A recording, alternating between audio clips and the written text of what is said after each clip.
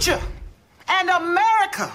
Now, I may have lost my train of thought several minutes ago, but if I continue to talk like this, no one will notice, and when I stop, you will applaud my energy. Thank you. Thank you.